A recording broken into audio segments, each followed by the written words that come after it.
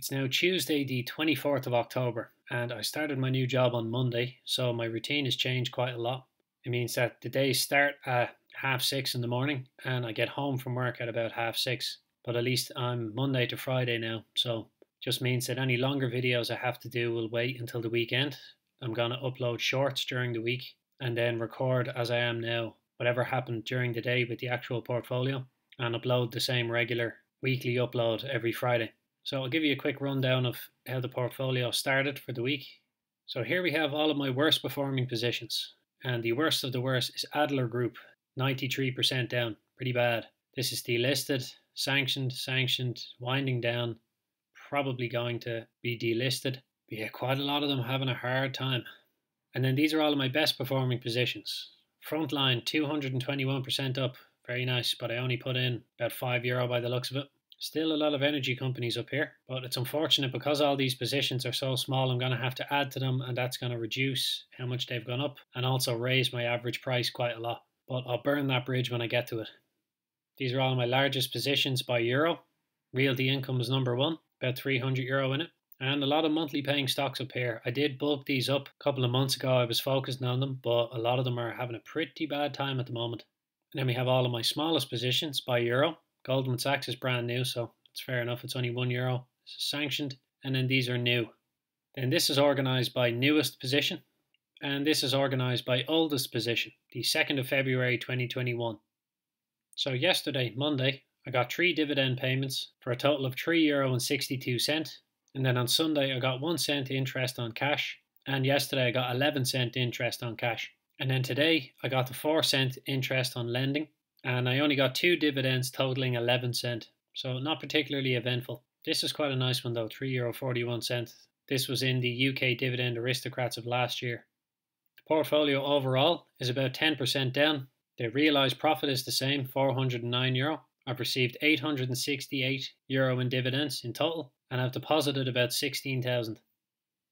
And then over the weekend, I also finished the Dividend Kings of 2023. But because the new routine with work means that I don't really have time to go through 30 positions and make a long video on them. So that's going to have to wait until the weekend. But at least the plus side of that is that the yields won't change. So what happened was I recorded the video first and then realized the microphone wasn't on. So it just sounded horrendous. And by the next day, when I went to record, all of the yields had changed. So they were no longer accurate. But all of these stocks are stocks that have paid consecutive raised dividends for the last 50 years or more. And an important thing to note is that Altria had the highest yield. It was 9% when I recorded it. But that's all for Monday and Tuesday so far.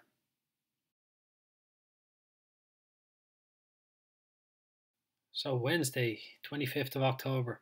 Good day for dividends. Lots and lots of bond payments. So it was a total of 26 payments for a value of 4 euro and 28 cent so now up to 872 euro in dividends. Yeah, a lot of the bond funds, they pay a dividend once per month, and because they're all Vanguard, they all pay on the same day. A gilt is just another name for a bond. And the last buy orders that went in were all on the 23rd of October, and that was when I updated the Dividend Kings list. But the bond market has been getting absolutely wrecked as well, so I think I'm going to put 30 euro into each of my bond pies just to take advantage of the dips a little bit. But I'll show you the three pies now. So all of these are denoted in dollars, and I have five. Then the bond funds donated in pounds, I have seven.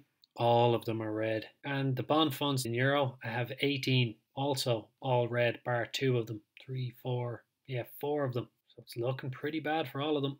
And I'm going to take advantage and put 30 euro into each pie. And I'll do each one by self balancing. So that's the spread in this one. That's the spread in the second one. Now there is 18 in this one, so I think I'm going to put 40 euro in between all of them. So that's how it was spread it out. Not much, but there is 18 of them, so what can you do?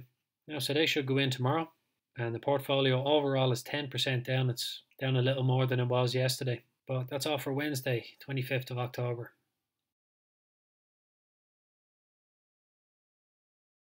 The end of the week, Friday, the 27th of October, but quite a bit of activity, and I've added a new position today. That's Carrefour. I'll show you that in a few minutes. But the portfolio now has an even 876 euro in dividends received. Profit and loss hasn't changed, about 410 euro. Yesterday, Thursday the 26th, I got 4 cent lending interest, 1 cent interest on cash, and today I got 4 cent interest.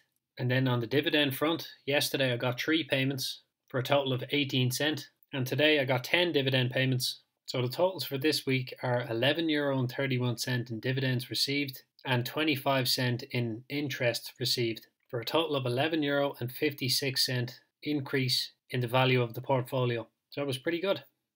And the new stock I added is Carrefour. This is a huge grocery chain headquartered in France, has about 350,000 employees. It does only pay a dividend once per year, but the dividend yield at the moment is a nice 3.5%. So we'll see how that does over the years.